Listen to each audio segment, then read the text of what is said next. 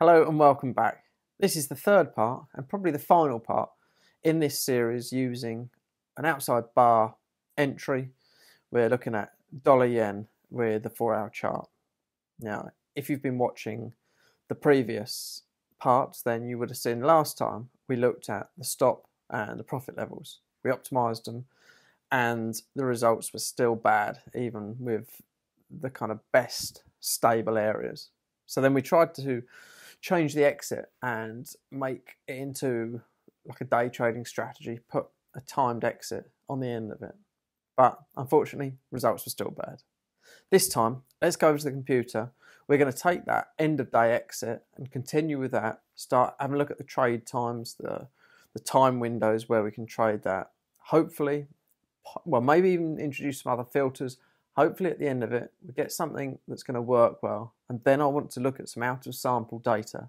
So take our strategy that hopefully looks good and add it to some out of sample data. Look at a couple of years worth of data that wasn't used within the development just to see how it would have worked on that future data. So let's go over to the computer now and start the developments.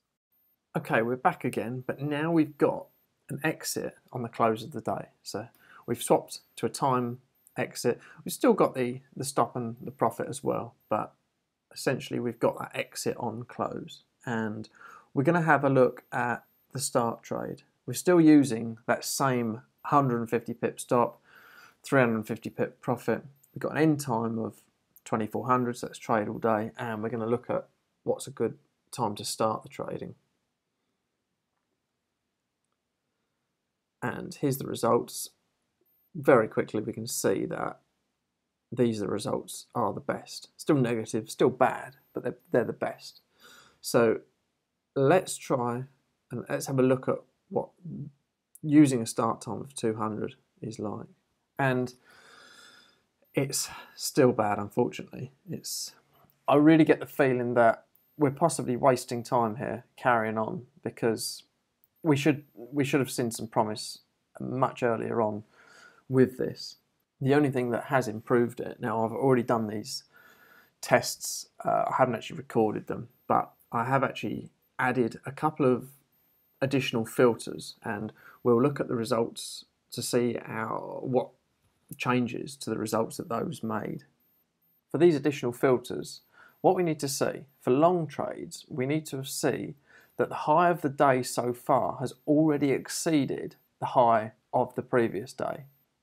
So we're already showing a bit of strength, and only if we see that, then we go long, and the opposite is for short. If today's low has been below the low of yesterday, then we, we are allowed to go short. And I've tested a few different similar style type strength or weakness type strategies, and only these only these two have actually worked, which actually kind of raises a bit of a flag. Normally, if a type of strength or weakness filter, if one works, they should all really work. But nonetheless, let's carry on and have a look at the results using these filters.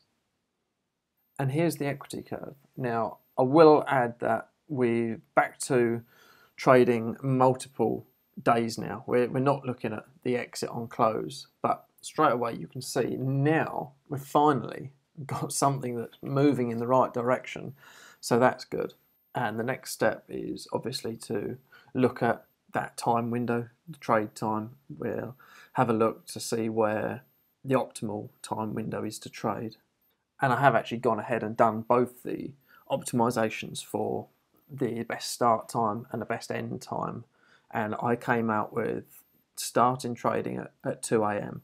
and finishing taking trades at 10 a.m. I haven't shown you them here, but you've seen me go through that process before. So, and here's the equity curve using those best start and end times, and we're finally getting something that looks reasonable, something that's uh, usable. And interestingly, I actually tested the end of day exit as well just simply switching to an end of day exit um, also produces pretty good results. So that's quite pleasing. So at the moment, it looks like we've got a reasonable strategy. So next, the thing I normally like to do is, I mentioned it before, is look at the out of sample data.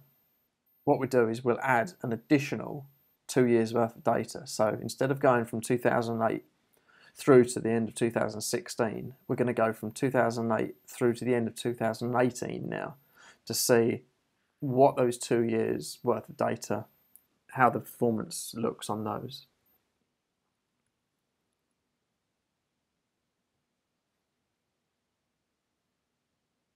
And here's the equity curve with those additional two years of out of sample data. We can see that the out of sample data literally it started from about where my cursor is now from the start of 2017 onwards. So uh, let's zoom in and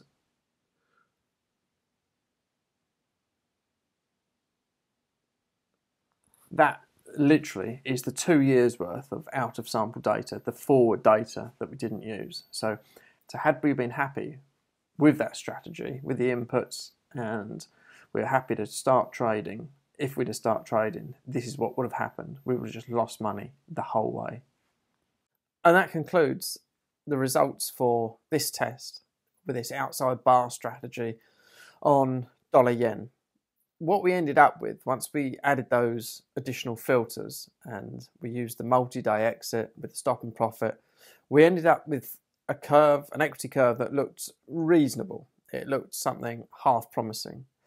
Then we went ahead and checked some out of sample data in which the results just fell apart. They were awful. Now, that's just a typical sign of something that was over optimized or curve fitted.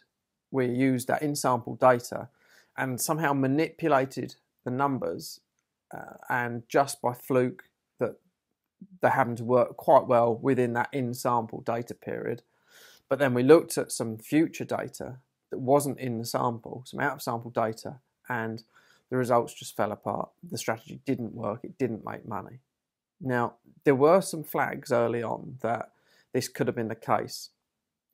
First of all, typically when a strategy is going to work with no filters, no optimizing of any stop loss or anything like that, some like the sort of the base inputs, the base parameters, the strategy tends to have some sort of promise from word go.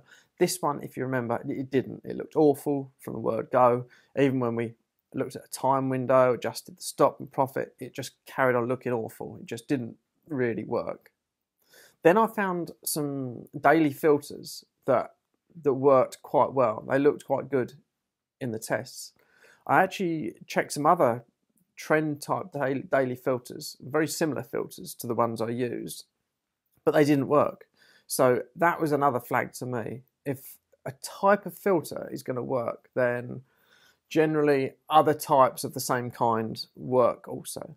So that was another flag, and I'm really not surprised that this didn't work in out of sample which leaves me to conclude that this strategy that was found on a forum that uses that four hour bar above or below the exponential moving average, the outside bar, it makes me wonder if it, if it has an edge whatsoever. Personally, I don't think so. I could go on and test some other pairs with this because not all strategies work on every Forex pair. I know that. But I just get the feeling that it's just not not particularly good. If you remember, we looked at periods in the equity graph from over the years, and there were years where it worked really well, years where it worked really badly. Now, somebody who th- might have brought the attention uh, to this strategy may have looked at these periods where it just happened to work well and thought, yeah, that, this is obviously a great way to enter the market. But we've seen that over a broader amount of years, it probably really doesn't work. So, what do you think about that? Leave some comments or questions down below. Tell me what you think. Uh, tell me if you've had success with this type of strategy. If there's any other strategies you'd like me to test or try and improve, look at, then leave them in the comments down below or email me, jared at thetransparenttrader.com and I'll see you in the next videos. It might be another series like this or just your normal tips and training type videos. So until then, see you later.